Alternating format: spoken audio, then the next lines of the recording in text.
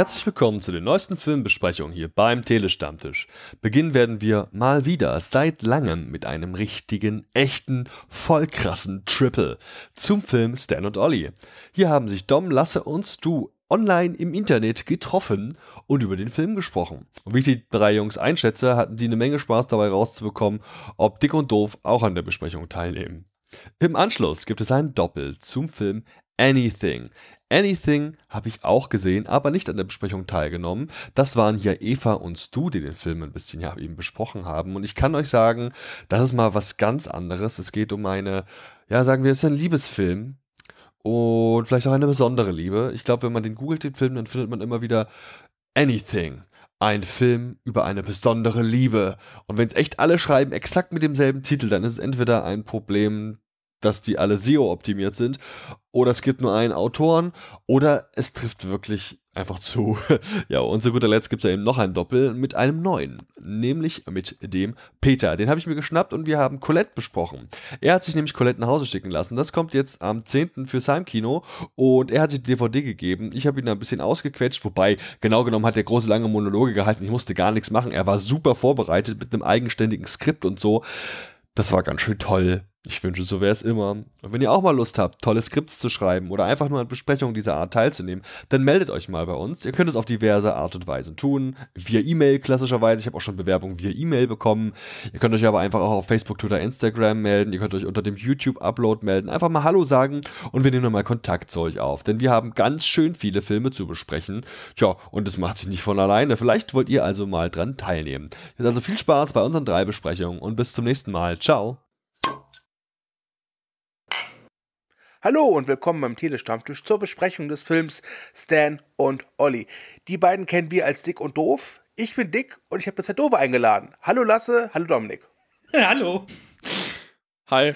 Ihr Lieben, bevor wir zum Eingemachten kommen, es wird Zeit für das übliche Prozedere. Lasse, sag uns doch bitte mal schnell die Fakten zum Film. Die Fakten. Der offizielle deutsche Kinostart ist am 9. Mai. Der Film geht 97 Minuten. Er ist ohne Altersbeschränkung freigegeben. Regie führt John S. Baird. Ähm, das Drehbuch schrieb Jeff Pope.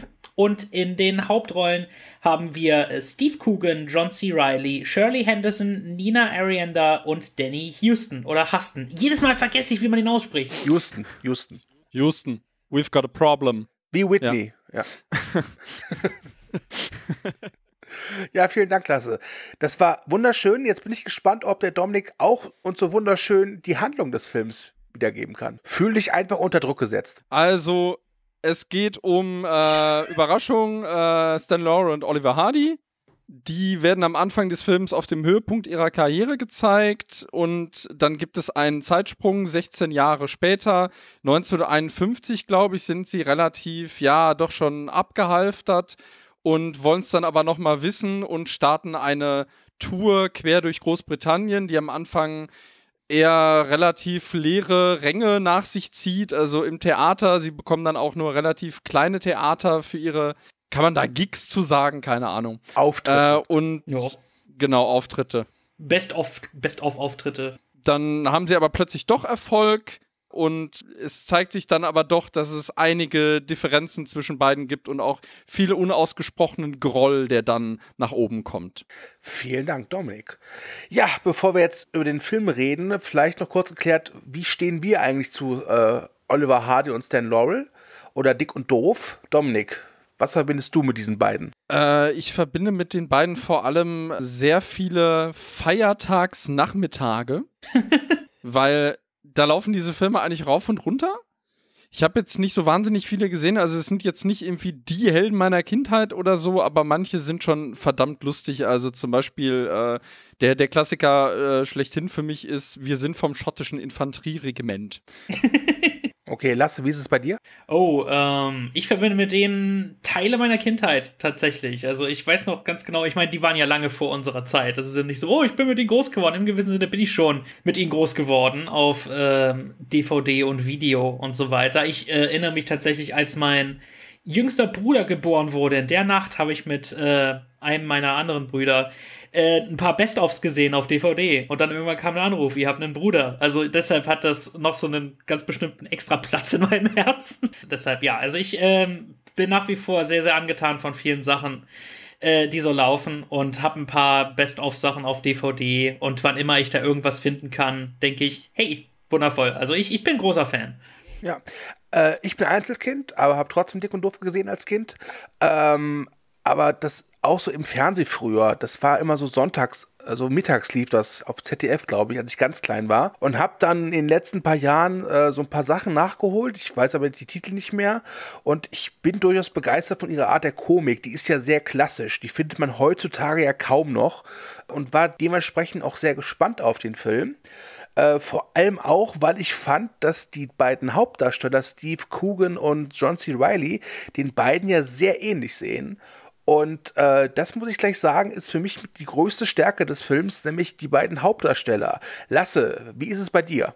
Ich fand sie wundervoll. Halt, ich war auch äh, schon vom Trailer her, dachte ich, boah, das haben sie ja echt toll hingekriegt hier mit nicht nur das Make-up, sondern die Manierismen eins zu eins. Es ist teilweise echt gruselig, wie unglaublich ähnlich die die spielen und äh, wie, wie sehr die mit diesen Rollen verschmelzen. Du hast irgendwann den Eindruck, das sind keine Schauspieler mehr, das sind äh, Laurel und Hardy. Und ich, ich war schlichtweg begeistert davon und äh, war, war, ja, also mehr kann ich dazu im Moment nicht sagen. Dominik, und bei dir? Ich kann mich da äh, relativ eigentlich anschließen. Ich fand die ziemlich großartig. Also vor allem äh, Steve Coogan hat dann ja auch oft diese, diesen, diesen, ah, ist doch legendär, wenn äh, Stan Laurel so seine, seine Haare irgendwie zupft. In, dieser, dieser Bubi-Pose. Also, das hat er, also so großartig. Oder auch diese eine Szene, wo er da irgendwie im, im Warteraum sitzt und dann seinen Hut so hoch steigen lässt, seinen Kopf. Das ist, ah, also ich weiß auch noch, im, im Abspann, äh, ich meine, gut, das ist jetzt kein Spoiler, im Abspann sieht man noch mal Szenen mit den beiden, ich war mir ehrlich gesagt nicht sicher, ob das Originalaufnahmen sind oder aber die beiden Schauspieler, die das äh, nachempfinden. Ja, ja, das waren tatsächlich Originalaufnahmen, aber ich musste auch zweimal blinzeln. ja, das spricht dann umso mehr für den Film, ne? Beziehungsweise für die Darsteller und die Maske. Total. Also sie haben ja nicht nur eine Ähnlichkeit äh, mit dem Original, sie, die beiden haben ja auch eine unglaublich gute Chemie zusammen. Das ist ja glaube ich, auch essentiell für die Rolle. Auf jeden Fall. Man nehme nur mal an, die hätten da Darsteller genommen, die es nicht leiden können. Oder die halt einfach keine Chemie miteinander hätten. Das wäre ordentlicher Hitten losgegangen. Also, da haben sie echt schon äh, den richtigen Ton getroffen, wie ich finde. Ja. Ich war auch am Überlegen, haben die schon mal zusammengespielt, Steve Coogan und John C. Riley? Die haben danach zusammengespielt. Steve Coogan hatte dann einen Gastauftritt in Holmes und Watson. Ich denke mal John C. Riley zuliebe einfach. Ach so, okay. Aber ich weiß nicht, ob sie vorher schon gearbeitet haben. Ja, das war ein schöner Film. da kann ich dann jetzt sogar tatsächlich referieren. Was erinnerst du dich noch, äh, als wir den Oscar-Cast gemacht hatten und äh, du dich so über diesen Zusammenschnitt beschwert hattest von der Verleihung, von den Filmen und dann dachte ich ernsthaft, da wäre eine Szene aus Holmes und Watson drin, war dann aber wohl doch eine aus äh, Stan und Ollie. ja, ich weiß es noch, du hast recht. Ne? ja. Also egal, wie jetzt dieser Podcast hier enden wird, kann ich jetzt schon mal sagen, Stan und Oli ist besser als Holmes und Watson. Ja. Er dürfte auch so ein bisschen John C. Rileys äh, Ansehen wiederhergestellt haben, denke ich mal. Wobei in den USA kam die ja äh, in umgekehrter Reihenfolge als hier, ne? Also mhm. die goldene Himbeere. Ja, stimmt. Der Film hat echt ein bisschen gebraucht, bis er jetzt endlich zu uns nach Deutschland kommt.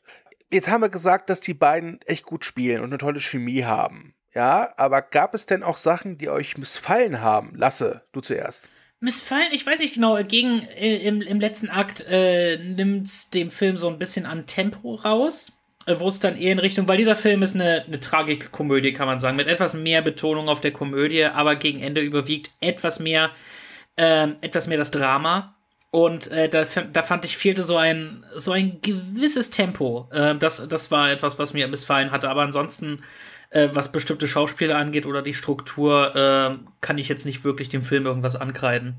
Und du, Dominik? Äh, ich bin mit dem Drehbuch ehrlich gesagt nicht so glücklich. Also mir ist da zu wenig Fleisch dran. Also der, der zentrale Konflikt zwischen denen, der ja hauptsächlich darauf fußt, dass sie eigentlich miteinander nicht, nicht so wirklich klarkommen. Also eigentlich wie so ein altes Ehepaar, ne? Und an manchen Stellen fragt man sich auch, weil ich, ich fand eine Szene sehr interessant, wo ähm, Stan, also natürlich nicht auf der Bühne, sondern zu seiner Frau sagt, die Leute da draußen kennen uns eigentlich gar nicht. Und wir kennen sie auch nicht. Aber ein Stück weit muss man sich dann trotzdem fragen, äh, steckt in diesen Rollen, die ja wirklich auch genau wie sie heißen, steckt da vielleicht mehr von ihnen drin, als sie das wahrhaben wollen. Und da hätte ich vielleicht noch ein bisschen mehr äh, von haben wollen. Auch zum Beispiel die Beziehung zu ihren Frauen, das war mir viel zu oberflächlich. Und äh, Stu hat es vorhin auch schon im Vorgespräch gesagt, da kann ich mich anschließen, dass ähm, von, der, von der damaligen Filmindustrie, da hätte man noch viel mehr raus machen können. Also ich fand den Film auch relativ oberflächlich und auch erzählerisch war der mir arg schematisch geraten. Äh, da, also ich finde, da hätte man durchaus mehr Tiefe äh, reingeben können. Da wäre durchaus auch Potenzial drin, da wirklich mehr rauszuholen, als das, was es jetzt ist. Und es ist halt im Prinzip eine sehr einfache erzählte, aber durchaus auch funktionelle Geschichte, wie ich finde. Ja, ich finde, der, der Film äh, ist, ist, ungefähr das Äquivalent zu äh, Laurel und Hardy wie der Film Hitchcock zu Alfred Hitchcock, der mit Anthony Hopkins von vor ein paar Jahren. Weil dort konzentrieren sie sich auf einen ganz bestimmten Teil seines Lebens, eben auf das Making-of von Psycho. Und gehen da auch nicht besonders in die Tiefe, weil die teilweise dort auch rechte Probleme hatten und deshalb nicht offiziell etwas aus Psycho halt zitieren konnten. Und das haben sie sehr clever gefilmt in dem Fall. Aber, und ironischerweise, Danny Houston hat in beiden Filmen eine Nebenrolle gespielt. Stimmt. Obwohl sie in dem anderen sogar dann doch noch ein bisschen wichtiger war als hier, weil das war ja wirklich nur, ich glaube, der hatte nur zwei Szenen oder so. Ich glaube, ja, das war ein glorifizierter Cameo hier. Ja. Ähm, genau, aber halt, ich finde, die, die Filme sind sich in dem Sinne ein bisschen ähnlich. Wobei bei Hitchcock hat man noch etwas, etwas mehr mitgekriegt von dem ganzen Business und von der Art und Weise, wie Psycho eigentlich eingeschlagen hat für die damalige Zeit und was für ein wichtiger und bahnbrechender Film das eigentlich war. Und hier kriegt man auf jeden Fall, selbst wenn man äh, Stan und Ollie nicht kennt, was eigentlich unmöglich ist, halt jeder kennt, jeder kennt Stan und Ollie irgendwie, ja. aber selbst wenn man sie nicht kennt, kriegt man hier eine gute Ahnung davon, was sie waren, was sie repräsentierten und so weiter und wer sie als Charaktere waren.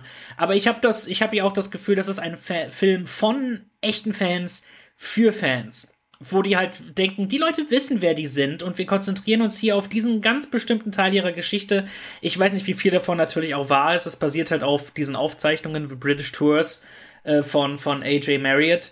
Ähm, also da ist wohl, also die, diese Tour haben sie ja wohl gemacht. Ähm, jetzt, inwiefern das im Detail stimmt, ist natürlich dahingestellt.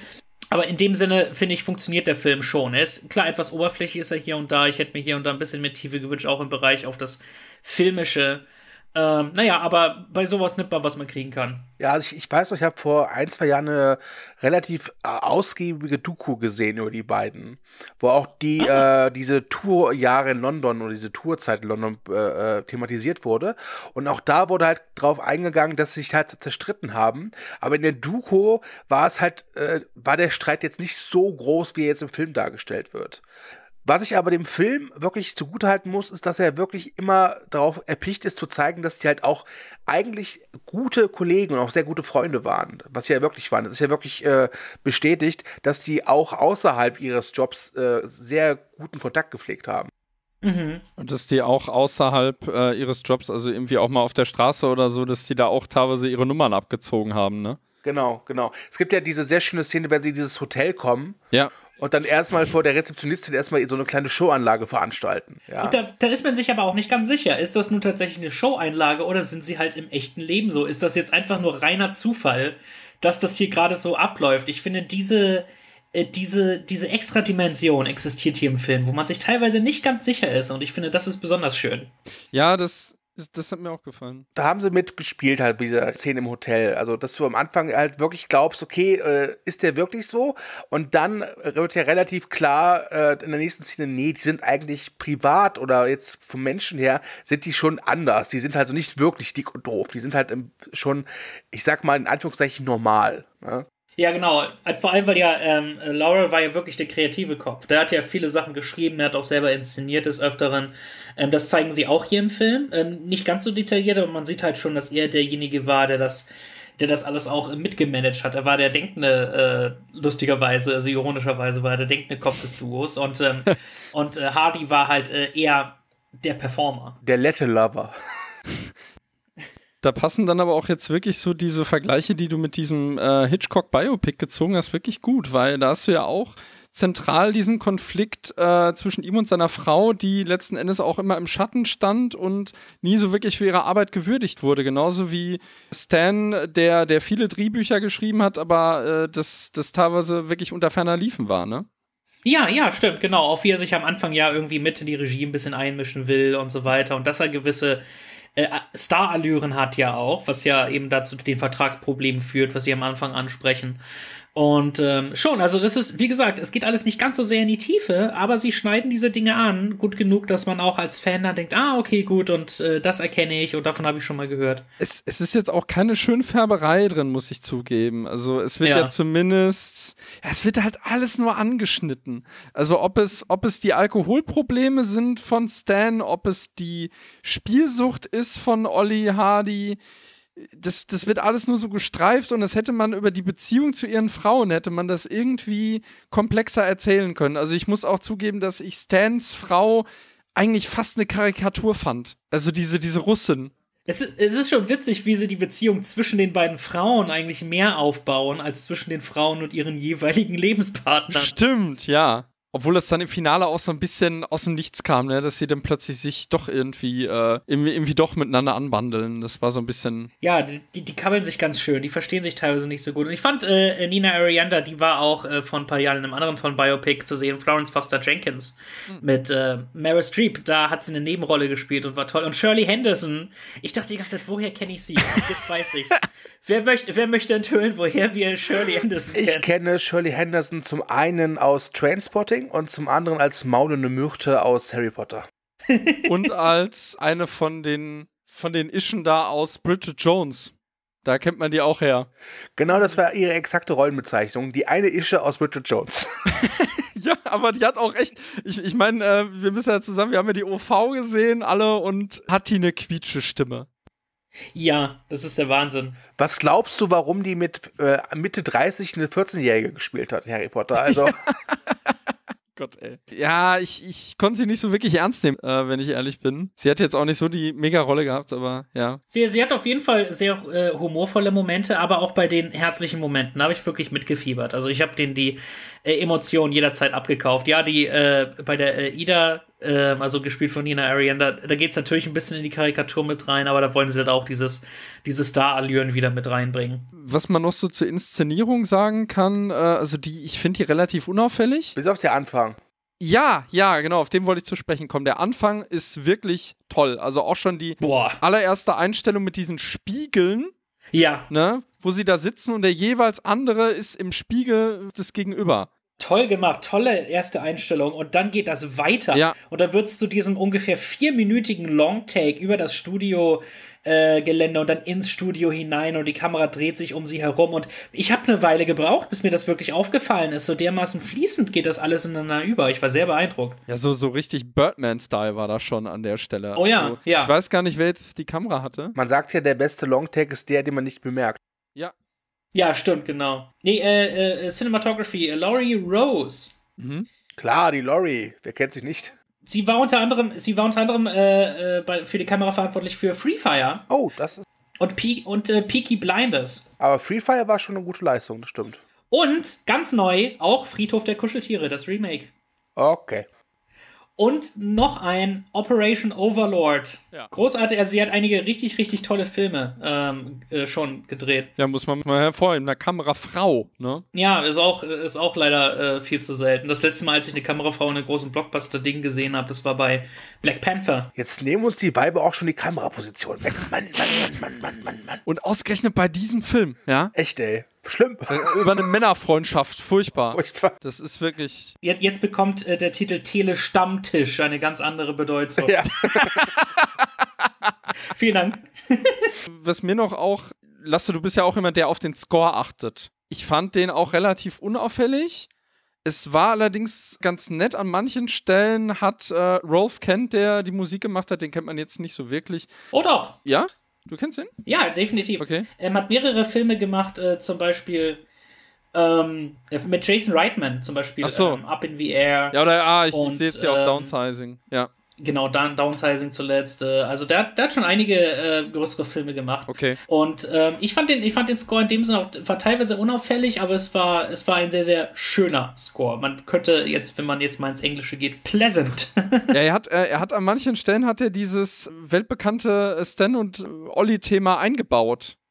Also Ja. so, sogar auch in dramatischen Szenen hat er es in einer verlangsamten Version. Das hatte irgendwie was, fand ich. Ja, das war wirklich toll eingesetzt. Und, und als sie dann da auch in Irland empfangen werden, äh, schrillt ja sogar die, die äh, Glocke da irgendwie, ne? Also äh, relativ gegen Ende des Films. Also da, da werden sie doch irgendwie am Hafen begrüßt und im Hintergrund hörst du eine Glocke, die dieses Stan und Olli-Thema spielt. War sehr cool. Diesen Kuckuckstanz oder wie er hieß, ne? Ja, ich, ich keine Ahnung, wie das heißt. Ja, jeder kennt das. Ja. Ja, ja. Ja, okay. da, Dankeschön. Wenn ich, wenn ich noch was zur Inszenierung sagen darf, ich finde sie sehr unaufgeregt und sehr sicher auf jeden Fall. Also sie ist auf, ich würde nicht wirklich sagen zweckmäßig, sondern sie ist äh, sehr selbstbewusst. Und ähm, ich finde John S. Baird ähm, tatsächlich lustigerweise inszeniert es in gewissem Sinne altmodisch. Mir ist aufgefallen, die Art und Weise, wie sie die Einstellungen machen und wie sie halt auch die Nummern filmen. Das ist alles äh, wundervoll übersichtlich und halt so ein bisschen klassisch gehalten. Und ich finde, das passt genau. Auch teilweise bei Außenaufnahmen dachte ich mir, das sieht teilweise so ein bisschen aus nach altmodischen Matte Paintings hier und da im Hintergrund. In dem Fall waren es aber halt digitale Matte Paintings. Aber ich dachte mir, es ist so ein schöner, netter Touch, der das so ein bisschen in diese Zeit transportiert. Es gab diese Szene, wenn sie in äh, Großbritannien ankommen und das vor diesem Motel stehen, Ja. wo ich mir dachte, dieses Motel sieht aus wie so eine Kulisse. Ja, als wäre das eine Wand mit Stelzen hinter. Genau, genau, als wenn du die Vorderseite vorhatten. Das hat mir wirklich gut gefallen. Hättest du so gegenkicken können wie im Schuh des Manitou. Ja, ja, ja, ja. genau. Ja. Apachen Pop. Ja.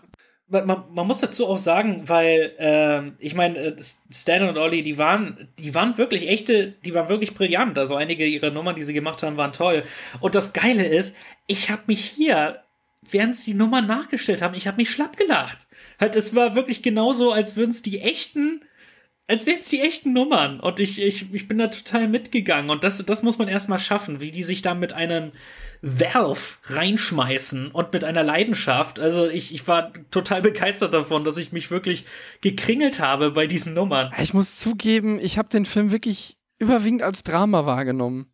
Also es gab auch diesen recht deprimierenden Moment, wo sie da irgendwie an der Bar sitzen und dann auch äh, jemand sagt, da fiel mir auch so ein, äh, also von wegen, die, die, die gehören jetzt so langsam aber sicher zum alten Eisen und sind nicht mehr zeitgemäß. Da fiel mir auch so ein, es ist ja heutzutage so, ähm, in, in, in der Musikindustrie zum Beispiel, dass du eine Tour machst, um dein Album zu bewerben. Also versteht ihr, was ich meine? Weil das war ja hier letzten Endes auch so, dass sie keine Filmverträge äh, mehr eigentlich gekriegt haben. Das ist ja, da dreht sich ja auch einer der Hauptkonflikte drum, dass äh, sie eigentlich die ganze Zeit diesen Robin Hood-Film machen wollen und eigentlich überhaupt gar kein Geld dafür bekommen und äh, Stan Olli das nicht wirklich sagen kann. Und äh, also das, das hat mich da irgendwie dran erinnert, weil, also ist doch so ein, so ein Klischee mittlerweile in der Musikindustrie. Vorher war es, dass du irgendwie mit, mit oder nee, nee, Quatsch, ich hab's falsch rum gesagt. Du bewirbst heutzutage mit deinem Album deine Tour. So. Und nicht umgekehrt. und das kam mir irgendwie so in den Sinn dabei. Ich mag jetzt vielleicht ein bisschen komisch klingen, ja. Aber ich meine, die Botschaft des Films ist ja, sie schaffen es ja durch ihre Qualität, dass sie ja wieder äh, die Leute anlocken. Ja, ich meine, die ersten Aufführungen sind ja noch spärlich besät in, in, bei Mhm. Sachen Zuschauern und es kommt ja dann. Ne? Das ist, äh, also der Film ist schon, schon veranlagt darauf, klar mitzuteilen, Qualität zahlt sich aus. Obwohl auch nie so wirklich hergeleitet wird, warum das da jetzt so eine Wende gibt plötzlich, ne? Na, naja, weil, weil sie einfach gut sind. Also irgendwie haben sie dann. Ja, gut, aber das waren sie ja schon immer. Ja, aber manche Leute müssen halt daran erinnert werden. Ja, genau, weil viele denken, die hören, die haben aufgehört und dann spricht sich das dann irgendwie rum oder sowas. Gut, gut. Ja, aber man hätte dann vielleicht, ich weiß nicht, man, man hat auch halt zum Beispiel keine Medienberichterstattung oder so gesehen, mal irgendwie kurz oder dass sie, ja gut, irgendwie in meiner Zeitung oder was ganz kurz mal, aber der Film hat mir zu wenig Fleisch an manchen Stellen. Also ich, ich, bin, ich bin ja eigentlich ein Verächter von äh, Überlänge im heutigen Kino. Hier hätte ich mir tatsächlich mehr gewünscht. Weil der ist mir zu kurz, der Film. Zu kurz und zu oberflächlich an vielen Stellen. Hm, hm. Also ich stimme nicht nicht zu. Ihr Lieben, wollen wir mal zum Fazit kommen? Ja, würde ich auch sagen. Gut, dann äh, würde ich sagen, Lasse, fang du mal an. Also ich hatte einen großen Spaß mit dem Film. Ich hatte erwartet, dass ich ihn mag und ähm, von der Besetzung ausgehend dachte ich, die beiden haben auch äh, unabhängig voneinander, die haben tolle Sachen gemacht auch schon. Halt, äh, ich bewerte John C. Reilly eher an seinen Erfolgen und davon hat er mehr als Misserfolge und Steve Coogan bin ich sowieso ein Fan. Ich, ich fand, der Film hat äh, die, die Beziehung der beiden sehr, sehr gut bebildert. Es war nur ein kleiner Teil aus ihrem Leben, aber man kriegt genug mit. Selbst Leute, die noch nie was von denen gehört haben, werden sicher den Appeal checken, sozusagen es ist auch kein totales Fluff-Piece. Ich finde, die gehen schon auf äh, bestimmte Schwierigkeiten ein. Die Art und Weise, wie mit äh, der, äh, wie mit der Gesundheit von Hardy umgegangen wird und äh, mit der Professionalität von, von Stan und wie das ab und zu eben mal ausarten kann. Aber auch, wie sie alles versuchen, äh, eben humorvoll zu sehen und wie sie eben miteinander funktionieren und eben die nachgestellten Shows. Also ich habe ich hab wirklich gelacht, dass ich dachte mir, Mensch, das ist heute noch lustig, selbst wenn es nachgestellt ist. Und ähm, das ist eben so die, diese Magie davon, die, wie das wirklich, wie man wirklich merkt, die Filmemacher sind große Fans von denen und das ist so ein, das ist ein wirklich toller Tributfilm über sie und als äh, eben genau das äh, habe ich das gesehen und ich würde tatsächlich äh, vier von fünf Punkten geben. Alles klar. Äh, Dominik, ich schiebe mich mal dazwischen. Jo. Äh, insgesamt fand ich den Film ganz gut. Äh, ich fand ihn zu schematisch erzählt und zu oberflächlich. Manchmal wäre es, oder anders ausgedrückt, manchmal ist es ganz gut, wenn keine Fans Filme machen über ihre Idole. So ein bisschen, finde ich, passt das hier auch. Ähm, aber insgesamt fand ich den wieder ganz gut. Äh, 3,0 würde ich jetzt geben und äh, überlasse den Rest jetzt Dominik, da Dominik und ich nämlich, glaube ich, so ziemlich einer Meinung sind, dass du jetzt den ganzen Bärenanteil erledigen. Ihr habt euch gegen mich verschworen in der Vorbesprechung. So sieht's ja. nämlich mal aus. ja. Dick und doof hier. So. Oder dick und doof, Herr. Ja, also um, um äh, den äh, Dings nochmal aufzugreifen vorhin von dir äh, mit Hitchcock. Ich bin ein großer Verfechter davon und ich habe letztens erst das Gegenteil erlebt mit äh, Brecht ich bin großer Verfechter davon, dass man kein komplettes Biopic über jemanden macht oder jetzt halt über die beiden, sondern dass man sich eine Station aus deren Leben rausgreift und darüber ihre Geschichte erzählt. Das ist nicht das Problem dieses Films, sondern halt eher einfach das oberflächliche Skript, was an vielen Stellen zu viel anreißt, zu viel will und am Ende einfach zu wenig Substanz hat nach hinten raus. Ich kann dem Film jetzt nicht sonderlich böse sein. Er ist sehenswert. Schauspielerisch ist er vor allem wirklich sehenswert. Ich hatte ihn mir ehrlich gesagt leichtgewichtiger und fluffiger vorgestellt, weil ich muss zugeben, also ich habe zwar auch irgendwie gelacht, aber ich habe den wirklich eher als Drama wahrgenommen. Das ist jetzt nicht unbedingt was äh, Negatives, aber es kann sein, dass man da irgendwie vielleicht mit einer falschen Erwartungshaltung rangeht. Meine Wertungen sind auch drei von fünf tatsächlich, weil ja, er ist, er ist kompetent gemacht und durchaus auch unterhaltsam, aber es ist einfach zu wenig Substanz. Also mich hätte zum Beispiel jetzt nur mal als Beispiel interessiert, dass sie vielleicht mal irgendwelche Schwanks erzählen, wie sie sich zum Beispiel kennengelernt haben oder aber diese Nummer, das ist ja auch bekannt, dass sie äh, Filme auch auf Ausländisch gedreht haben, also dass sie phonetisch Sprachen gelernt haben und das dann eingesprochen haben. Also es gibt ja wirklich deutsche Filme mit dem, wo sie Deutsch sprechen. Ja, genau. Sowas hätte mich zum Beispiel mal interessiert. Das ist so, das ist mir zu allgemein, zu sehr Wikipedia-Wissen, was in diesem Film ist. Aber gut. Ja, dann äh, ist es Zeit, uns zu verabschieden. Ich sag einfach schon mal Tschüss aus meiner Seite aus. Dann darf der Dominik und dann darf der Lasse Tschüss sagen. Soll ich die Titelmelodie ins äh, Mikrofon pfeifen? Ich weiß nicht. Ich bitte darum. Bitte nicht. O oder Lasse, willst du das machen? ich weiß nicht, wie das ist mit den GEMA-Rechten oder so. Lass mal lieber. Ach Quatsch, komm. Ich meine, das Ding ist doch so alt. Ich bin mir ziemlich sicher, da sind die Rechte schon längst abgelaufen. Oh, wer weiß, wer weiß. Ja, gut. Äh, macht's gut. Mich findet man online äh, unter Dom Carnage hauptsächlich, ob auf Twitter oder auf Letterboxd. Und äh, ich bin regelmäßiger, äh, eigentlich, eigentlich bin ich elementares äh, Mitglied vom Telestammtisch. Elementar, mhm. Der Herr, der Herr hat was Besonderes jetzt, was? Hm? Ja, will er jetzt vielleicht irgendwann noch eine Solo-Tour starten? Will er jetzt irgendwann einen Podcast machen ohne hab uns? Ich, hab ich schon, hab ich schon. Oh, oh, auch eine. Game of Thrones ist mein Baby. Na gut, ähm, mich findet ihr auf Facebook und Twitter, at lassevogt. Ähm, ich äh, habe meinen eigenen Podcast, Fans About Films, zu finden auf Soundcloud und iTunes. Ähm, ich betreibe den englischsprachigen Podcast It's a 90s Christmas Podcast, gemeinsam mit Laia Perez, auch auf iTunes. Und ich schreibe deutschsprachiges Soundtrack-Reviews äh, auf scoregeek.wordpress.com und mein YouTube-Kanal heißt The Deppert. Und zum Abschied sage ich euch ein fröhliches Dudum, Dudum, Dudum, Dudum, Dudum, Dudum, Dudum. Eines Tages kenne ich deinen Abschlussmonolog auswendig. Manchmal variiere ich die Reihenfolge. Okay. und am Ende kommt die GEMA. Ciao. Ja, ciao. tschüss, tschüss. Hallo und willkommen beim Telestammtisch zur Besprechung des Films Anything. Ähm, und bevor wir den Film besprechen, begrüße ich die liebe Eva. Hallo Eva. Hallo. Eva, wir beide durften den Film sehen. Äh, wir haben einen Stream vom Verleih bekommen. Herzlichen Dank dafür. Äh, bevor wir jetzt aber den Film besprechen, erstmal die groben Fakten geklärt und die hast du für uns. Bitte, leg los. Genau, also Kinostart in Deutschland ist der 9. Mai. Ähm, der Film dauert 94 Minuten und ist freigegeben ab 12. Regie und Buch war derselbe Typ, das ist Timothy McNeil. Ähm, und mitspielen tun John Carroll Lynch, Matt Bomer. Du kannst mich gern äh, berichtigen, wenn ich es falsch ausspreche. Matt Bomer ja. sagt mir jetzt nicht so viel. Ähm, Maura Turney, Turney und Tanner. Ach, Buchanan. Tanner Buchanan. Aber jetzt merkt man sich wenigstens, glaube ich. Ja. Tanner Buchanan, so würde ich das einfach mal aussprechen. Ich glaube, es wird Buchanan ausgesprochen, aber da will ich mich jetzt auch nicht festlegen. Viel besser, ja. Ja, klingt schön, ne? Buchanan, das hat, das hat einen Klang. Ja, gut. ja, Anything ist, äh, handelt von einem Witwer, gespielt von John Carroll Lynch. Dieser Witwer heißt Early und hat nach, glaube ich, 26 Jahren seine Frau verloren. Die ist gestorben bei einem Verkehrsunfall.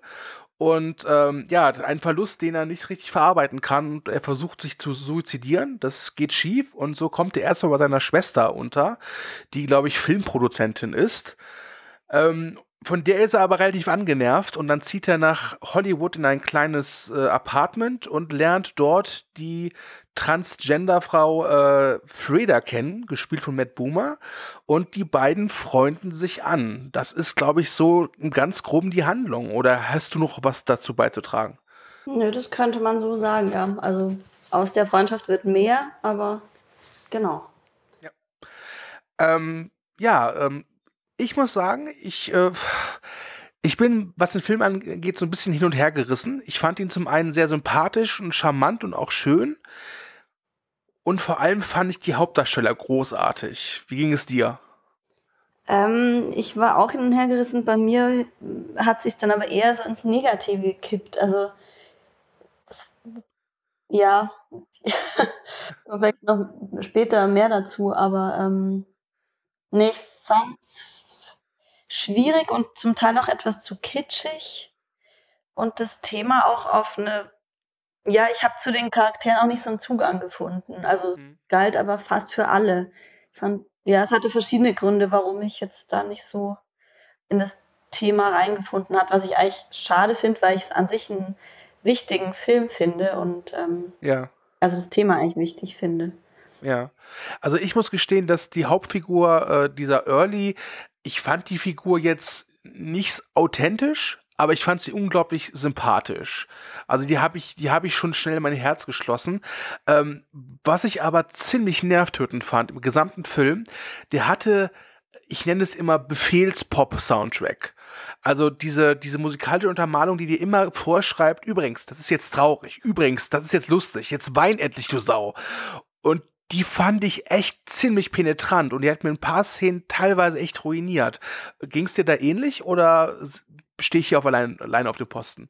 Also ich lasse mich an sich immer sehr schnell in so auch so Tränendrüsenstimmung ein und bin da wirklich schnell dabei und flenn schnell und so und finde es dann auch okay. Ähm, aber in dem Film war es mir zu oft zu, ja, kitschig, einfach zu, zu dramatisch und so dieses, bisschen amerikanische drüber Feeling-Getue. Mhm.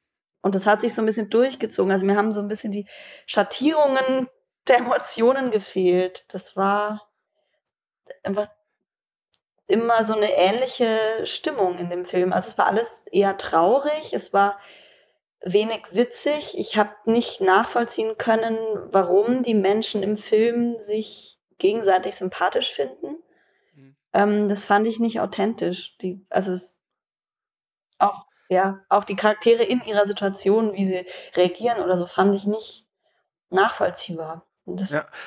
hat es mir ein bisschen, es hat mich gestört. Also ich fand ihn bis zur Mitte wirklich gut. Ich würde es auch nicht, habe mich auch nicht gelangweilt oder so. Ähm, aber zwischendurch war es mir doch ein bisschen zu viel und ich musste schon auch ein paar Mal die Augen verdrehen, weil ich mir dachte, nee, das ist. Ja, ja. Ähm, ist, was ich so äh, seltsam fand, äh, er zieht halt in diese, diese, ich sag mal, äh, ja, äh, gefährliche Gegend würde ich jetzt nicht sagen, aber in eine für sich, ja. ja in eine Gegend, äh, in der er eigentlich nicht hingehört, so ja, weil er ja schon äh, ein gemachter Mann ist, äh, kommt ursprünglich aus so einem kleinen Cup auch aus Mississippi. Ähm, und er lernt dann neben der Frieda auch noch andere Leute kennen. Und es ist, ich hatte das Gefühl, er trifft, ja, er trifft die Leute und sie mögen ihn sofort auf Anhieb. Ja. Und da ist keine Entwicklung drin. Das fand ich ein bisschen strange, muss ich auch gestehen. Ja, und auch eben nicht nachvollziehbar, warum. Also genau, einfach ein bisschen zu schnell und ich fand es auch unrealistisch. Also ich fand seinen Wunsch unrealistisch oder nicht unrealistisch, aber doch etwas abrupt dargestellt und es war sehr abrupt, dass er da plötzlich hinzieht und dann ein anderer Mensch werden will, aber dann irgendwie doch nicht und dann waren seine Denk- und Gefühlsprozesse immer hoppla hopp irgendwie da ohne viel Austausch, ohne dass man seinen Gedanken oder Emotionen viel folgen konnte. Das war dann plötzlich so, dann gab es ein, zwei Wendungen emotional und immer konnte ich, stand ich dann, dachte, hä, was ist denn jetzt in ihm passiert? Also was, wo kommt denn jetzt seine Entscheidung wieder her? Also und ja, ja ich fand auch das sehr klischeebehaftet und andererseits ähm, ja, also die, auch die, die Junkies haben ja auch zu gesund ausgeschaut. Also, das stimmt, ja. Das ist auf den Punkt, das waren so wohlgenährte Hipster-Leute. Irgendwie sahen die aus, so mit prallen Bäckchen und gesunden Gesichtszügen und die sich dann Heroin spritzen. Also sehr seltsam. Ja, der, der Film hat schon. Finde ich. Ja, ja, der Film hat schon irgendwie äh, sich nicht getraut, sag ich mal, diesen, diesen Schmutz auch zu zeigen, ja. den diese Junkie-Szene halt mit sich bringt. Das war schon sehr, alles sehr sauber und sehr seicht und ich hatte auch immer das Gefühl, er will sein Publikum so ein bisschen in diese Welt einführen, aber er traut sich halt nicht, äh, Radikalität walten zu lassen. Ja, das, das trifft sehr gut, finde ich auch. Also es war so angedeutet und es waren sehr viele Themen. Ich fand auch eigentlich zu viele Themen drin, wo ich auch zum Teil dachte, jetzt entscheide dich doch mal für, was willst du denn jetzt, welche Problematik äh, des Zusammenseins willst du denn jetzt beleuchten? Also geht es jetzt um Transmenschen oder geht es um die Drogenszene oder ähm, weiß ich nicht, Einsamkeit oder Alkoholismus oder ähm, ja. das fand ich schade. Das ja, es war einfach ein bisschen zu viel und eben aber nicht konsequent durchgefühlt oder zu Ende gedacht, sondern so durcheinander gemischt und dann eben so ein bisschen weich geschleudert. Genau, der Film war sehr vereinfacht. Es gibt auch so eine ja, äh, Szene, wo äh, versucht wird, halt von den Drogen loszukommen, was, was laut dieses Films relativ einfach ist. ne? Einfach zehn Minuten rumheulen und dann geht's wieder. Das fand ich auch ein bisschen seltsam. Freund und ja. Ja, das, wo auch äh, davor für mich die emotionale Basis noch gar nicht hergestellt war. Also die kannten sich kaum und dann bleibt er plötzlich dort und macht einen Drogenentzug. Also ja. es ist schön, wenn Leute so offen und ähm, liebevoll miteinander umgehen, aber äh, ich, ja, es war auch so, wo ich mir dachte, hä? sind so, so ist es leider nicht. Ich fand auch diesen, diese Frieda, äh, gespielt von Matt Boomer, ich weiß nicht, das war auch so, also wenn wir uns so ein Transgender vorstellen, ja, das sind so, das ist so die Versammlung der ganzen Klischees, steckt in dieser Figur. Das hat mich auch ein bisschen gestört. So als, als, als ob Transgender halt nur so rumlaufen, sag ich, wie Drag Queens und sich auch so verhalten. Ja, immer etwas äh, überheblich, immer, immer so eine Spur zu viel in allem, ja. Ich auch und, und genau. typisch in dieses Milieu dann auch gleich mit, muss es jetzt auch nicht sein. Also jetzt habe ich dich unterbrochen, ja. nee, du hast aber im Prinzip nur das weitergeführt, was ich sagen wollte. Von daher vielen Dank. Okay.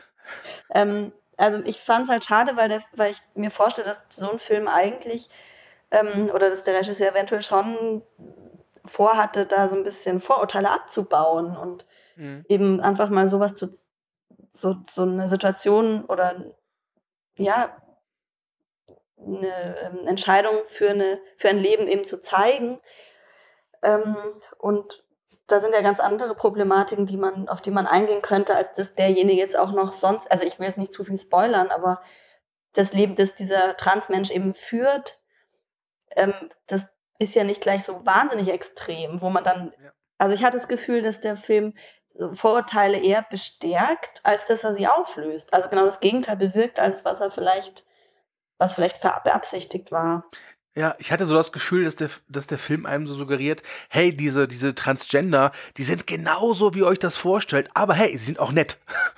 Genau, also es geht total ab und eigentlich ist es eine Szene, die total kaputt ist, total kaputte Menschen. Es hat mich gestört, weil genauso ist es ja halt nicht. Ähm, und da, ja, wo dann auch eher so eine abwehrende Reaktion vom Umfeld eventuell nachvollziehbar ist oder, man sich zumindest Sorgen machen kann um Angehörige, die halt in so einem, also es war ja so eng verknüpft, dieses Drogen, also alles, was kaputt macht, Genre und dieses Transleben, was jetzt ja erstmal nichts miteinander zu tun hat, was ähm, ich schwierig finde, das so in einen Topf zu schmeißen. Und mhm.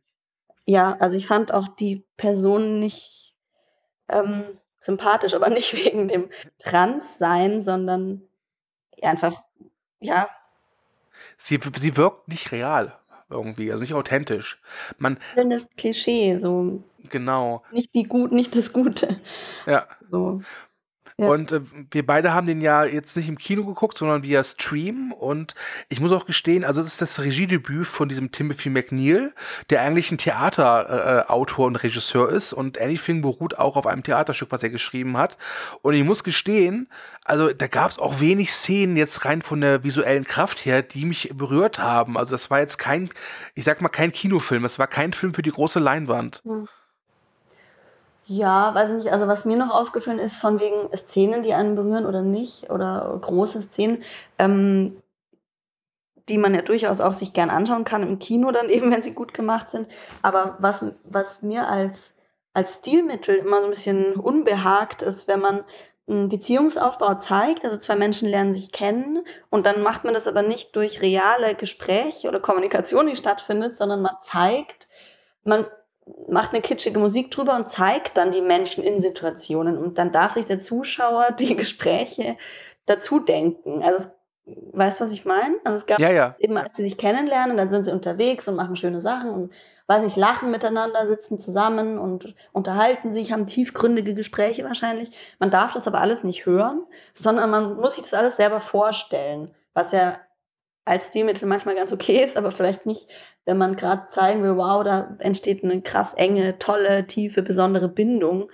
Und ähm, jetzt war, ich habe dann immer den Eindruck, der Regisseur ist einfach zu faul, sich da äh, Szenen auszudenken oder Gespräche, die real rüberkommen und zeigt dann einfach, ja, die unterhalten sich, romantische Musik drüber und dann weiß man schon, was man jetzt fühlen soll, aber das bindet nicht so richtig, finde ich. Also ja. kann man äh, zusätzlich machen, wenn die Beziehung schon aufgebaut ist, aber nicht, nicht als alleiniges Merkmal. Also, ja. ja. Nee, ich, ich, ich verstehe schon, was du meinst. Hast du sonst noch irgendetwas anzubringen zum Film? Weil ansonsten würde ich jetzt, glaube ich, zum Fazit kommen. Ach, sind wir schon soweit? Ja. Ähm, nee, ich glaube, wir haben alles schon. Ja, Nee, ich glaube, wir haben alle Kritikpunkte schon so weit die wichtigsten genannt, ja. Okay, dann äh, wird jetzt Zeit für unser Fazit. Äh, liebe Eva, bitte, wie lautet dein Fazit und wie viel Punkte gibst du dem Film von 0 bis 5? Mm, 2,5. War, sage ich mal, ganz strikt raus, ja. Okay. Ähm, ja, ich würde mich anschließen. Auch 2,5 tatsächlich. Ähm, die aber auch, glaube ich, nur daher kommen, weil ich halt den Hauptdarsteller unglaublich gut finde, diesen John Carroll Lynch. Ja, der war gut, das war eine ganz gute Besetzung, ja. Ja. Ähm, und ich würde vielleicht noch anmerken, wenn euch so, ja, das, die, die, ich nenne es mal Subkultur der Transgender-Szene in Hollywood interessiert, dann guckt euch lieber Tangerine LA an. Der ist, ah. der ist wesentlich besser. Meine Empfehlung. Ja, also überhaupt so, ich weiß nicht, in welches Genre man das jetzt tun soll. Also, ähm, was ich in der Hinsicht, also es ist natürlich wieder was anderes, aber so, oh, Menschen sind anderes und haben vielleicht eine andere Sexualität, wenn man so dieses Thema sucht, fand ich zum Beispiel Blau ist eine warme Farbe wahnsinnig gut, der eben dann Ja. so ein extra Gedümpel drum macht und hu, die sind in einem Special sonst was Dunstkreis, sondern es sind ähm, wird einfach eine ganz normale Liebesgeschichte erzählt und die Hauptdarstellerinnen sind halt zufällig lesbisch und man fühlt total mit. Also das ist zum Beispiel wahnsinnig gut gemacht. Das ähm, ja, würde ich dann eher empfehlen. Aber Ich glaube, den Film gibt es aktuell auch auf Netflix zu sehen. Also wenn ihr den euch dafür interessiert und habt Netflix, dann schaut unbedingt mal rein. Ist empfehlenswert, definitiv. wenn man viel Zeit hat, gerade ja, das stimmt. Ja. okay. Ja, dann wären wir schon am Ende. Dann äh, danke ich dir recht herzlich. Äh, ich verabschiede mich und lasse die letzten Worte des Podcasts dir. Viel Spaß. Ja, und dann vielen Dank fürs Zuhören und tschüss, bis zum nächsten Mal. Herzlich willkommen zur Besprechung des Films Colette, einem Film, der bereits im letzten Jahr in die deutschen Kinos gekommen ist und nun langsam aber sicher auch auf dem Heimkinomarkt eintrudelt, nämlich am 10. Mai könnt ihr euch das Ganze dann eben auch zu Hause in den Player reinballern oder euch den Stream geben. Der Film hat eine Gesamtlaufzeit von einer Stunde 51 und ist freigegeben ab sechs Jahren. Ist laut Trailer scheinbar sowas wie ein Drama mit biografischen Einflüssen und ich habe absolut keine Ahnung, was mich erwartet, außer eine entzückende Kira Knightley. Den Film selbst habe ich nicht gesehen, aber ein neuer Kollege von uns hat sich dran gewagt und wird ihn zusammen mit uns heute ein bisschen auseinandernehmen. Hi, ich bin der Andi. Wer bist du? Servus, ich bin der Peter. Ich bin zum ersten Mal dabei und ich freue mich, dass ich mal mit dir diesen Film mal durchgehen kann und freue mich natürlich auf viele weitere Filme, die wir mal besprechen können und natürlich mal genau ins Detail bei diesen Filmen gehen können. Voll gut. Ja, also moin erstmal. Servus. Erste total unvorbereitete Fangfrage. Ja. Und zwar musst du mir jetzt sagen, welchen Film du in letzter Zeit gesehen hast, der dir besonders gut gefallen hat. Ich werde es nicht kommentieren, einfach nur zur Einordnung quasi für unsere Zuhörer. Also ich war zuletzt äh, im Kino in Avengers Endgame. Mhm. Äh, welche Überraschung. Und ähm, wie gesagt, äh, ich bin da mit sehr hohen Erwartungen rein und bin natürlich auch überwältigend rausgegangen. ja, das kann ich sehr gut nachvollziehen. Okidoki, dann wollen wir uns jetzt mal um Colette kümmern. Ich habe eben was erzählt von irgendwie Biografie und irgendwie Drama. Ist es richtig? Genau, also es ist ein äh, Biopic über eine französische Literaturlegende, sage ich jetzt mal, und dabei geht es um die Frau Sidonie Gabrielle Colette. Dieses Mal ja natürlich gespielt von äh, Keira Knightley. Und ähm, sie äh, heiratet äh, so kurz äh, Ende des 19. Jahrhunderts einen äh, Pariser Autoren, äh, der nennt sich Willy, der wird gespielt von Dominic West und äh, den hatte ich zuletzt zum Beispiel in Tomb Raider gesehen, aber beinahe nicht erkannt wegen seinem Bart und äh, auch bei Colette äh, ging es mir da ein bisschen ähnlich, sage ich jetzt mal, weil er war ja auch dafür äh, ein bisschen stark verwachst, sage ich jetzt mal, im Gesicht. Was meinst du mit verwachst? Äh, barttechnisch. Ach so. Also ich, ich, ich hätte ihn äh, rein vom Look her hätte ich ihn jetzt nicht erkannt. Aber äh, wie er den äh, Willi dargestellt ist, also man sieht ja auch am Ende dann, äh, wie die Personen in Real Life ausgesehen haben, dann hat er schon richtig gut getroffen, muss ich sagen. Mhm. Und ähm, also man bekommt äh, den Großteil äh, des Films natürlich erstmal einen Eindruck davon, wie äh, dieses Eheleben zwischen Colette und ihrem Mann aussieht. Und dabei geht es in erster Linie auch darum, dass sich die beiden ähm, äh, in einer Form identifizieren, äh, schriftstellerisch. Äh, also das heißt, der Mann, der lässt andere Leute zum Beispiel für sich schreiben, also Ghostwriting. Mhm.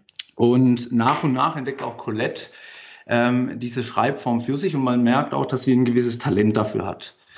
Und der Mann, also Willi, der äh, probiert sie dann nach und nach dann auch so ein bisschen mit einzubeziehen. Aber es ist halt immer äh, in diesem Aspekt äh, so, dass die Frauen in dieser Gesellschaft halt ähm, zum einen auf jeden Fall nicht gleichgestellt sind und äh, dass auch der Mann das äh, im Nachgang der Geschichte auch so ein bisschen ausnutzt. Und das ist eigentlich so äh, die Kernproblematik in diesem Film und erzählt auch, äh, beschreibt auch die Geschichte letztendlich gut. Also es geht darum, dass Colette nach und nach zu so einer Ghostwriterin für ihren Mann wird Mhm. und äh, dann die äh, Eheproblematik da immer weiter mit eingreift in diese Geschichte. Und ähm, dann geht es natürlich letztendlich darum, dass es äh, um einen sehr schnellen äh, Aufstieg äh, dieser Bücher geht, wo sie dann für ihren Mann verfasst. Und ähm, sie wird dann immer wieder ausgenutzt. Und wie das im Einzelnen ist, das kann ich auch nachher, mhm. Nachhinein dann auch ein bisschen äh, detaillierter sagen, wenn wir ein bisschen auf die Story eingehen. Aber es führt dann letztendlich auch dadurch, äh, dass sie sich dann ein bisschen ausgenutzt fühlt, ähm, später zu äh, Riesenproblematik, was dann auch die Urheberrechte und weiteres angeht. Und ähm, letztendlich, letztendlich ähm, beschreiben diese Romane, wo sie verfasst, ja auch ähm, Bedürfnisse von Frauen, äh, wo jetzt so in dieser Gesellschaft jetzt nicht den Anklang finden. Die werden ja in dieser eher bröden Gesellschaft, werden die äh, unterdrückt, diese, diese Gefühle, was die haben. Könnte man also sagen, sie ist quasi sowas wie eine Feministin? Ja, das könnte man äh, durch und durch sagen, aber es ist am Anfang noch nicht so ersichtlich, weil ähm, zu Beginn ist es ja wirklich äh, ein stinknormales Eheleben, sage ich jetzt mal. Mhm. Der Mann, der erfüllt ihre Bedürfnisse, aber man erkennt halt schon, dass er das Sagen hat und dass die Frau äh, etwas ein bisschen äh, von ihm unterdrückt wird. Und das führt auch teilweise dazu, dass er dann ähm, sie in diese Etikette, wo ja Paris in dieser Zeit ist, und sie ist ja eigentlich mehr diese ähm, Frau, die auf dem Land aufgewachsen ist, und sie kennt das ja nicht wirklich. Und äh, für ihn ist es zum Beispiel normal, dass er Affären hat und äh, sie sich dem natürlich fügen muss. Also, also es ist ganz, ganz schwer für die Frau in dieser Gesellschaft, äh, dem Mann ein bisschen Gegenwehr entgegenzubringen. Mhm. Und vor allem auch in diesem äh, Frankreich des äh, 19. und 20. Jahrhundert, da merkt man wirklich, wie sie als Frau vom Land, wo dann in die Stadt zieht, äh, erstmal komplett nicht damit zurechtkommt, aber sich nach und nach auch durch diese ganzen Romane einfügt und auch, sage ich mal, Sponsoren sammelt. Und es wird dann halt im Laufe der Geschichte klar, dass eigentlich sie äh, die wahre Autorin hinter diesen Werken ist. Und das wird dann gegen Ende, kommt dann gegen Ende so weit, ähm, dass es, wie gesagt, zu diesen Urheberrechtsstreiten kommt, aber da können wir später nochmal drauf eingehen. Ähm, ich würde das jetzt Punkt für Punkt mal äh, ein bisschen durchgehen. Klar, ich merke schon, du hast ja auf jeden Fall einen Stichpunktzettel gemacht, den du hier abarbeitest. Ja, genau. Ich musste also gar keine Fragen stellen. Ja, super, vorher frei.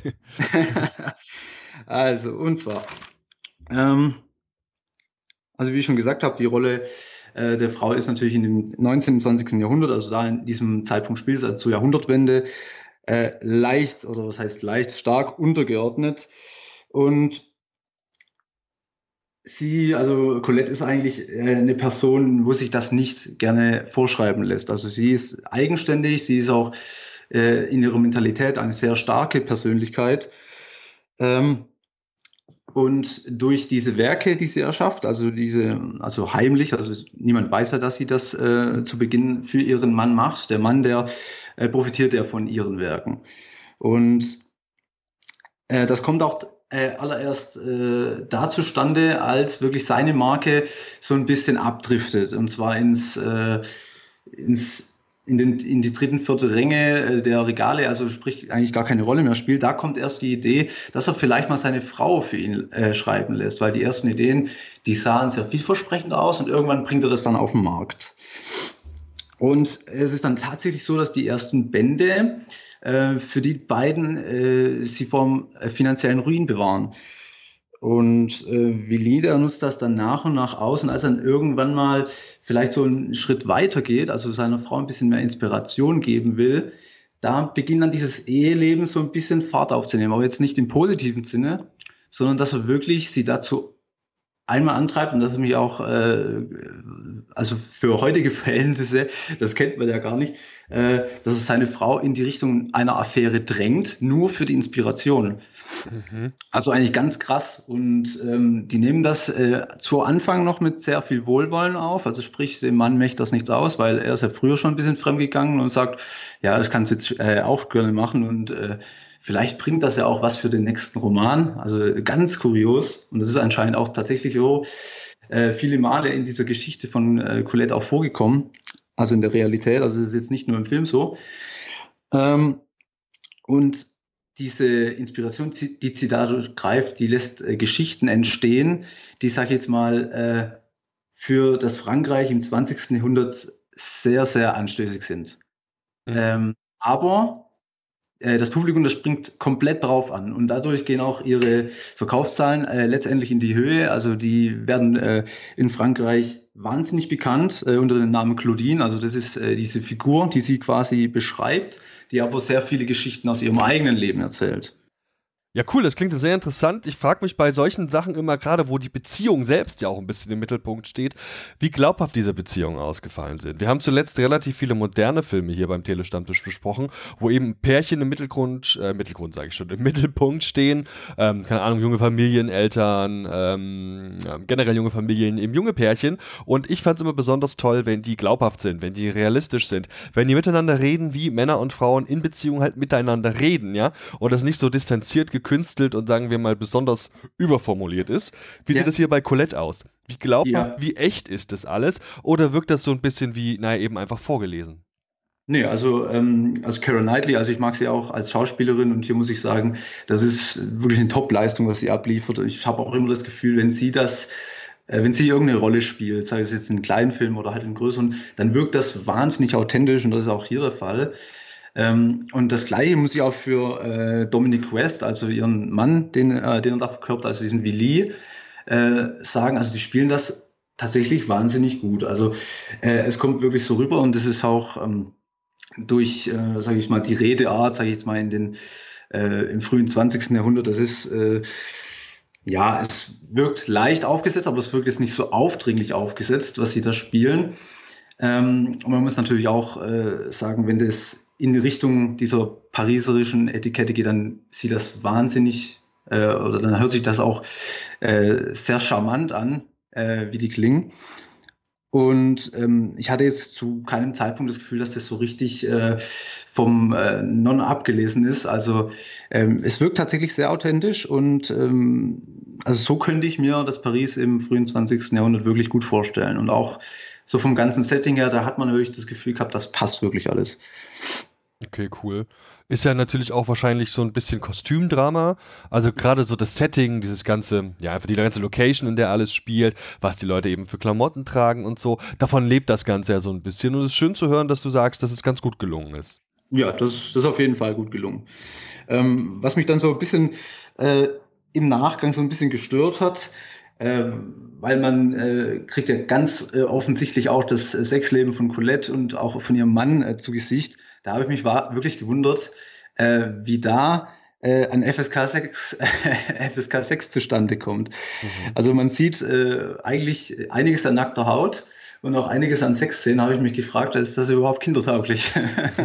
Also ist es äh, sehr explizit. Ja, auf jeden Fall. Also diese, diese Affären, die werden jetzt nicht nur ähm, die finden jetzt nicht nur in Gesprächen statt, die werden auch offen ausgelebt in, in dem Film, was ich ja als in erster Linie nicht schlecht finde, aber es ist halt äh, für Minderjährige auf jeden Fall nicht geeignet. auch auch wenn es ein bisschen soft ist. Also man, man kann es natürlich nicht mit Fifty Shades of Grey vergleichen oder sowas. Nee.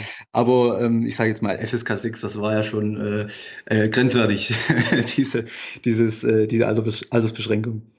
Vielleicht kurz nochmal zur Disc selbst. Hattest du jetzt die DVD oder Blu-ray vorliegen? Ich hatte eine DVD. Wie sieht's aus mit den Zusatzmaterialien? Hast du dir die angeschaut? Ich hatte mal kurz reingeschaut, aber es waren eigentlich nur drei Interviews äh, mhm. mit Kira Knightley, äh, Dominic West und die haben jetzt auch nicht mehr viel ausgesagt äh, zur Person an sich, nur dass sie halt äh, so finden, dass sie für den Film äh, die Rolle übernehmen. Ja, aber ansonsten war das jetzt äh, nicht wirklich mehr Inhalt. Also ich habe da nur kurz reingeschaut. Okay, alles klar. Also wollen wir dazu jetzt vielleicht gar nicht großartig was sagen. Zur technischen Seite kann ich persönlich selbst immer recht wenig beitragen. Also gerade weil ja viele, wir haben auch Kollegen gehabt, die einfach dann genau wissen, okay, das Bild krisselt hier, das Bild krisselt da. Sowas wäre dir nicht aufgefallen. Ähm, nein, also es, es, ist jetzt auch nicht gerade der Film, wo jetzt ähm, enorm vom, äh, von, der, von der Visualität lebt. Also es sind äh, stinknormale Schnitte, was hier präsentiert werden. Also da kann ich eigentlich jetzt äh, nicht meckern. Ähm, der Fokus liegt immer klar, wenn äh, die Dialoge, wenn man, wenn man Dialoge sieht, dass man beide Personen äh, relativ nah äh, fokussiert hat. Ähm, aber ansonsten ist das technisch, äh, sage ich mal, alles okay. Und äh, es war ja auch hier nicht ähm, sage ich mal, das, das äh, äh, der, der Kernpunkt von dem Film. Also es ist eigentlich das Normalste für dieses Biopic, äh, dass, äh, dass die Kamera halt, äh, wie gesagt, äh, den Fokus auf die äh, Dialoge legt. Also es ist nichts Außergewöhnliches, sagen wir es mal so. Alles klar, prima. Dann wäre eigentlich jetzt der Zeitpunkt, wo wir langsam aber sicher uns auch über ein Fazit unterhalten können. Oder gibt es vorher noch Punkte, die du unbedingt von deiner Liste abarbeiten möchtest? Äh, ja, also ich hätte da noch ein paar äh, kleine negative Aspekte. Also jetzt äh, nicht denken, dass ich durch die ganzen, also es war jetzt bisher eigentlich relativ positiv ja. von mir. Äh, es gibt natürlich auch ein paar Negativpunkte. Und das war zum einen das, äh, so das erste Kapitel im Film äh, über das Eheleben von den beiden, dass das äh, relativ schnell abgefrühstückt ist. Also man weiß dann so nach 20 Minuten, aha, das äh, führt in die, in die und die Richtung. Also in die Richtung, dass äh, die beiden sich dann am Ende wirklich nur durch die, durch die ganzen Affären definieren. Ähm, das äh, ist für mich so ein bisschen äh, zu äh, fix erzählt, also dieses äh, Eheleben in den ersten Jahren.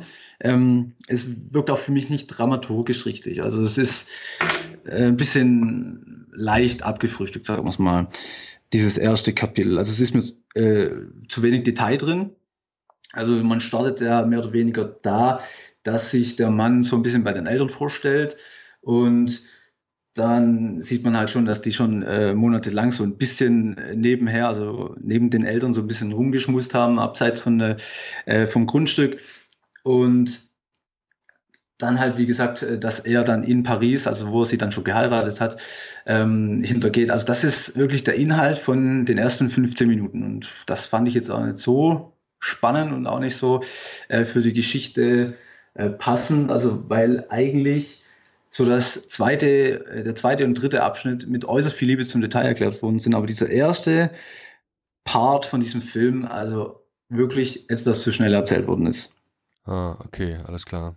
Also Pacing generell klingt ein bisschen schwierig. Ja, das war jetzt am Anfang zumindest schwierig, aber das, damit habe ich mich dann, äh, sage ich mal, im zweiten Drittel ein ähm, bisschen wohler gefühlt und äh, auch im letzten Abschnitt, da war das dann ähm, sehr gut erzählt eigentlich. Nur das erste Drittel war jetzt halt äh, dieses Negative.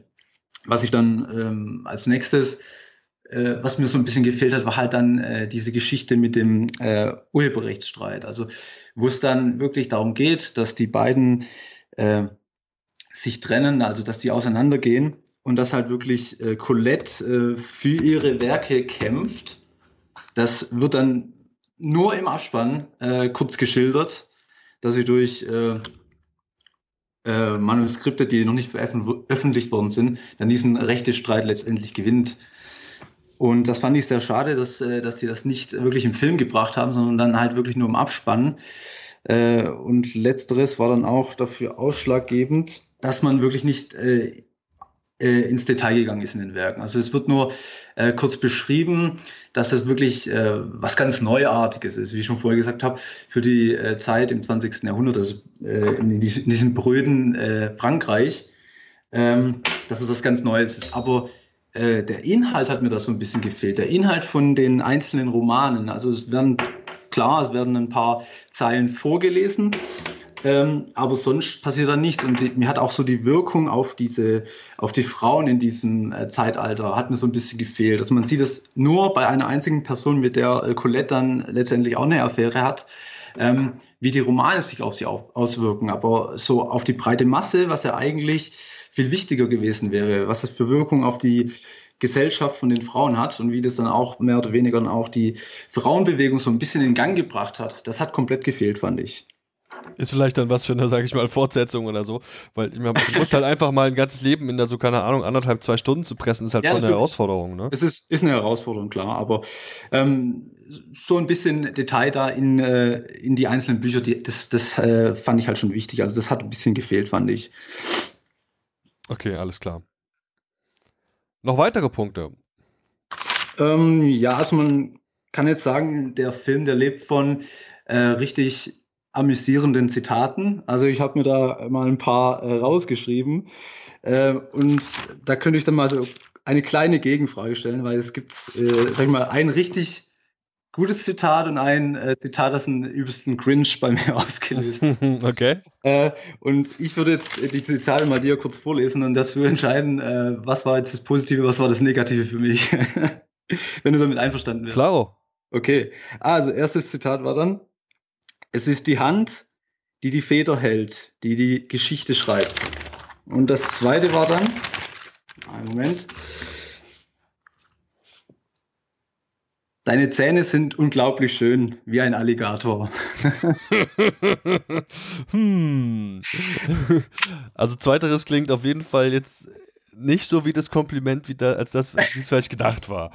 ja, Natürlich nicht. Also das war dann äh, übelst ein bisschen cringe, vor allem weil es dann äh, der Satz war zu, äh, von Colette zu einer Affäre äh, und ich fand das sowas von unpassend. Also ich weiß nicht, ob das in der in der in der Synchro wirklich so gedacht war oder ob das vielleicht jetzt im Original ein bisschen anders klingt, aber äh, es war schon ein bisschen, naja, sag ich jetzt mal, unpassend. Und ich habe es auch ehrlich gesagt nicht so ganz nachvollziehen können. Okay, alles klar. Ja, gibt Sachen, die bleiben manchmal hängen. Ne? Okay, super. Dann wird es jetzt aber langsam aber sicher Zeit für unser Fazit. Und bei unserem Fazit ist es so, dass wir zum einen eine Punktevergabe haben. Das heißt also, ich würde dich bitten, den Film irgendwo einzuordnen auf einer Skala von 0 bis 5 Punkten. Du kannst gerne noch halbe Punkte geben, das ist mir relativ egal. Das gilt einfach vor allem deshalb, weil wir so ein bisschen eine Einordnung machen wollen. Eine ganz subjektive von deiner Seite aus, wie gesagt, auch mit einem Kurzfazit dazu. Und du kannst auch gern versuchen, eine Zielgruppe zu definieren. Also für wen ah ja, okay. könnte der Film was sein? Genau. Ja, also das hatte ich, glaube ich, bei dem Film ohnehin vor, weil das äh, ein Film ist, der jetzt, äh, sag ich nicht, nicht für die breite Masse geeignet ist. Ähm, so als Kurzfazit würde ich, würde ich sagen, ähm, also Colette ist äh, streckenweise sehr unterhaltsam, hat äh, viel Liebe zu dem Detail, es fehlen so äh, die Kleinigkeiten, wo ich jetzt sage, äh, dass die Frauenbewegung äh, dadurch bisschen in Gang gekommen ist. Also mir fehlt das so ein bisschen die Faszination von den Frauen. Also klar, es ist ein, äh, eine Biografie, wo die Colette beschreibt, aber ich hätte mir da so ein bisschen was gewünscht, was das für Auswirkungen auf, auf junge Frauen vielleicht hat. Und dass man vielleicht auch das Gefühl bekommt, dass Frauen dadurch so ein bisschen, ähm, sage ich mal, ein bisschen weiter in den Vordergrund kommen, als sie in der aktuellen äh, Situation stehen. Und äh, punktetechnisch würde ich dem Ganzen, also ich würde, also bei meiner Punktzahl, weil ich würde bei meinem Blog jetzt zum Beispiel sieben von zehn Punkten geben, dann würde ich hier sagen, dann sind das hier dreieinhalb von fünf Punkten bei euch. Also ich kann den Film denjenigen empfehlen, vor allem, äh, die jetzt sich äh, nicht nur, sag ich jetzt mal, Actionfilme, sondern auch äh, ein bisschen darüber hinaus mal was äh, gönnen wollen, also ein bisschen Abwechslung. Äh, und ganz detailliert würde ich sagen, dass dieser Film speziell für junge Frauen, äh, speziell an junge, junge Frauen gerichtet ist, ähm, die jetzt vielleicht das Gefühl haben, dass sie jetzt äh, ein bisschen unterdrückt sind von ihren Männern. Okay. Kann man so sagen. Also ähm, Zielgruppe ist definitiv junge Frauen, die jetzt vielleicht größere Ziele verfolgen und die vielleicht dann dadurch so ein bisschen mehr Inspiration bekommen. Und vielleicht vielleicht auch Motivation, ne? Genau, Motivation, genau. Peter, prima. Kurz noch zu dir. Du hattest nämlich gerade auch deinen Blog angesprochen und normalerweise machen wir das immer zu Beginn, aber weil ich ein total schlechter Moderator bin, habe ich das total vergessen. Vielleicht kannst du noch kurz vorstellen, was du eigentlich sonst noch so machst, wenn du nicht gerade beim Telestammtisch zu Gast bist. Genau, also ich äh, schreibe auf meiner eigenen Website, die äh, sich Movie Club Germany schimpft. Und ähm, ich schreibe, ähm, also wie gesagt, äh, Reviews zum einen, also Filmkritiken, ähm, dann wie gesagt äh, die äh, aktuellen News zu Filmen und Serien. Ähm, was bei mir jetzt jede Woche äh, neu ist, sind die äh, Box Office äh, News, also sprich, ähm, was an den Kinokassen so los ist. Ganz, ganz speziell dann äh, die Kino, äh, Kinocharts Deutschland. Und ansonsten, wie gesagt, ähm, tägliche Updates auf Facebook, Twitter, ähm, was jetzt Trailer und so weiter angeht. Ähm, das ist so ähm, das, was das Format am besten beschreibt. Also relativ äh, breit in den sozialen Netzwerken und wie gesagt auf dem Blog dann ähm, hauptsächlich die Filmkritiken. Ja, mega. Also ich habe das vor einiger Zeit schon mal angesteuert und auch quasi überflogen. Das schien zumindest einen sehr optischen, sehr professionellen Eindruck zu machen. Und die Texte, die ich gefunden hatte, haben mir auch gefallen. Da müsst ihr auf jeden Fall mal vorbeischauen. Wie immer packe ich alle relevanten Links zu den entsprechenden Auftritten in Social Media, als auch eben zum eigentlichen Blog in die Show Notes, sodass ihr das auf jeden Fall finden könnt. Ja, sehr gut. Peter, Dankeschön. vielen, vielen Dank für deine Zeit, ja, und bis bald. Ja, gerne. Sehr, sehr gerne. Also auf, äh, auf bald. Also ich hoffe, dass wir noch ein paar Filme miteinander besprechen können. Hat wirklich Spaß gemacht. Und dann sage ich jetzt mal bis zum nächsten Mal. Bis dann, ciao. Dankeschön. Ciao.